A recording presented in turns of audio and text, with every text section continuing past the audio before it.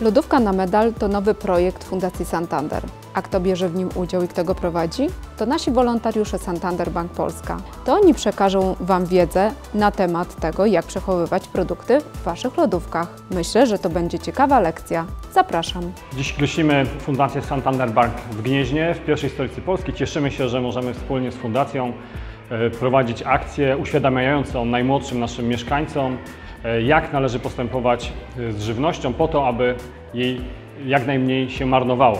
Tak jak w bloku jest jedna klatka, jakby każdy nalał wody do swojej wanny, to tyle wody jest potrzebne do tego, żeby jednego hamburgera wyprodukować. Nie kupujemy za dużo, kupujemy, zwracając uwagę na to, e, jaka jest data ważności, tak? Czy nam jest coś potrzebne, czy nie, po to, żeby później tego nie marnować.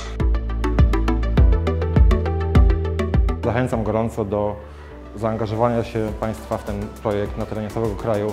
To jest wspaniała edukacja młodzieży skierowana dla uczniów szkół podstawowych w klasach od 3 do 7. Zachęcam do, do udziału w tej akcji.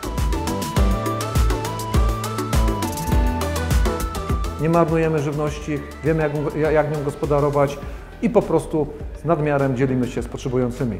Lodówka na medal, trzymam kciuki.